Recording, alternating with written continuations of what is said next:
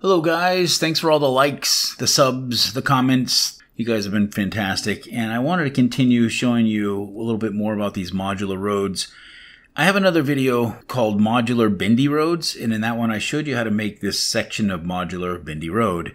I also showed you how to make a straight piece like this. And what I want to do in this video is I want to continue what I started by showing you how to make a T-section as well as our crossing section. So we're going to be using the same exact techniques that we used with the bendy road to produce those. There's going to be a couple of extra steps in there, and I just kind of wanted to walk you through this one step at a time so that you knew exactly how to do this.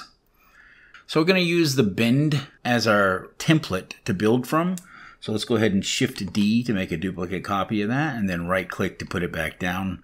Let's hide the original, and we'll go ahead and start editing that copy. So in edit mode, Let's take a look at this in top orthographic view with everything selected. Let's go ahead and duplicate this so we have a copy of it. And I just want to demonstrate first that this isn't going to work well unless you turn on your pivot to use the cursor. Right now it's not set up that way. So if I scale this on the X, notice as it scales, it's not scaling around the middle of the world space. It's not scaling around that red and white 3D cursor. Matter of fact, it's scaling in the middle of the geometry somehow, which is a little bizarre because the middle is somewhere over here. We want it to actually scale around this cursor. So to do that, we're going to change the pivot point so that the transforms pivot point is the 3D cursor. Now when I scale this on the x-axis like I was just doing before, it's actually using that pivot point to scale like that. And how much do we want to scale? Well, negative 1. That will put it in exactly the opposite orientation. Now on my screen, you can see this as transparent. If you don't see this transparent, it's because you don't have your backface culling turned on. Now I am a regular teacher. I teach on Udemy, and one of the first things I teach in all of my courses is to turn backface culling on. So let's just go over that real quick. This little drop down over here, we have an option for backface culling. If that's turned off, everything will look normal and you can continue modeling and feel like you're doing a fantastic job. And then later on, when you import this into your game, things are going to look, well, like this. So this gives you an example of what you'll see when you bring this into your game engine. And what's going on here is our normals are flipped inside out. So in other words, the texture side of that one-sided face is pointing in the opposite direction. We want to flip that. This is called flipping normals. And the way you do that is we'll keep that selected and then we'll just hit shift N and that recalculates the normals. So that solves the problem. That way I can keep my back face culling on. This will send me a red flag whenever that happens and we can always fix it by hitting shift N. A couple of things I want to point out. First of all, these are lined up perfectly vertex to vertex and this is centered right down the middle using this as an axis right here. Very important. Let's go ahead and switch to face selection. And I want to select these faces right here and delete them. We can do the same thing on this side. Just delete those faces. Now we can see things a little bit better. I think it'd be okay to delete this face as well. So we'll just go ahead and get rid of those for now. We don't want to delete anything over here because we want to maintain these edges and exactly those positions. So we'll keep all that stuff there. But we are going to get rid of all of this geometry in here. And I don't want to select it like that because it won't select everything. So let's go back to top view again. And I just want to talk about how you do a face loop selection. A face loop looks like this. I can select, for example, this whole loop of faces by just left clicking with Alt on that edge, which is in between those two faces. When I do that, it'll select this whole loop like that. But I don't necessarily want to select that whole loop. I want to select this loop, which goes all the way around like this. So I can do this from top view. So Alt, left click on that edge, safely selects that whole loop, just like that. And then I can do the same thing, Alt Shift. Remember what Shift does is it adds to the selection. So I'm still doing an Alt left click, but I'm using Shift, which will add that to the selection. So now we're getting a second loop added to that. We'll do the same thing down here, Alt Shift, and then these three as well. So I want to get rid of all this geometry. Just make sure it selects all the way around like that.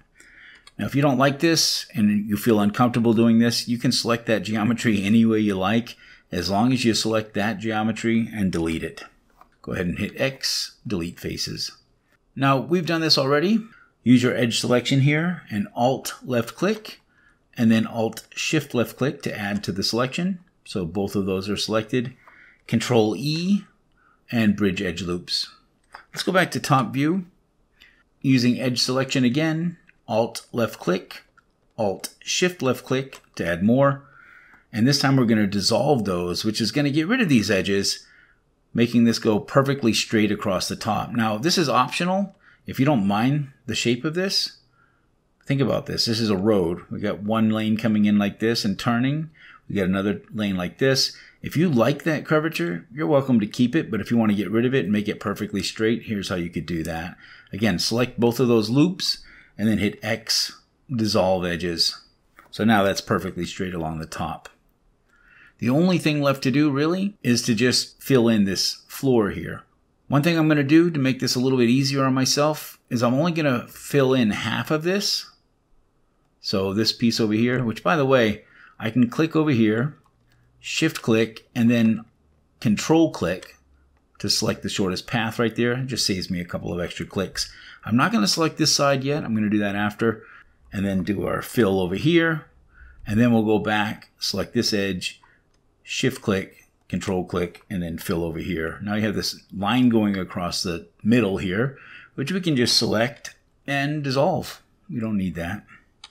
Now we have a nice T section. Now it would be really nice if we could make a perfect loop cut right down the middle, but unfortunately we've got this big n-gon right here, and that's not going to be possible with the configuration that we have. So let's use vertex selection for this.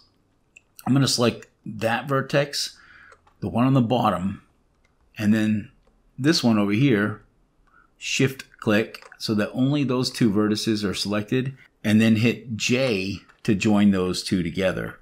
And when I did that, I created a nice quad right here. And you can see that if I go to face selection, this is now a quad. It has, you know, four sides, one face, four vertices. So now I can actually control R and make a perfect little loop cut right down the middle. Now we need that loop cut for one reason really. Ultimately what I want to do is I want to make a cross section. Now I haven't even saved this yet. So technically I should save the T section and then work on a crossing section next. So in object mode, duplicate that. This is going to be my T section. I'm just going to call it T for now. This one here is going to be my crossing section, which I'm just going to call X. And like I said, hide the original and then go in here and with edge selection, select that edge, use V to rip that apart, right click, I'm going to left click over here to select this half and then link select with L.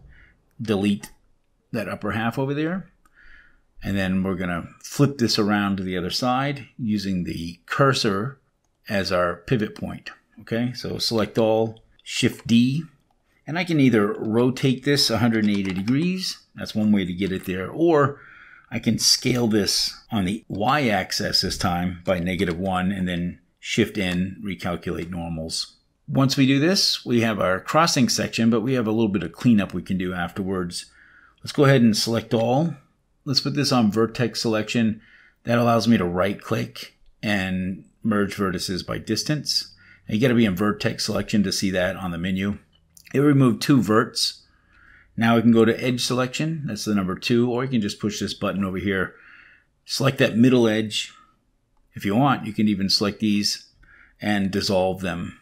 Dissolving them will remove them, which is fine. Now we're left with a big n-gon in the middle, but that's fine. Unless you don't like n-gons, you could work this out. But hey, there's nothing wrong with n-gons in game design. Believe it or not, I hear a lot of people put n-gons down, but they're really not bad people. Okay? So we have an X crossing, we have a T crossing. We also have our straight piece, and we have our bend piece. And if we go and piece all this stuff together by hitting G and holding it on control and snapping these pieces together, you can see that we have all the pieces that we need to make some pretty cool modular roads. So I hope this video helps some of you guys out. Don't forget to like, subscribe, ring the bell notification icon, all that kind of stuff. And also, don't forget to read the description of this video. In there, I put a bunch of links to some of the stuff that I'm working on. That stuff is important to me. If you guys are interested in anything that I'm doing, that's how you can find out about it. And also, if you really want to support what I'm doing, you can do so by supporting me on Patreon, which is another link you can find in the description. Again, I hope this helps you out. And until next time, good luck, have fun, and I'll see you in the next one.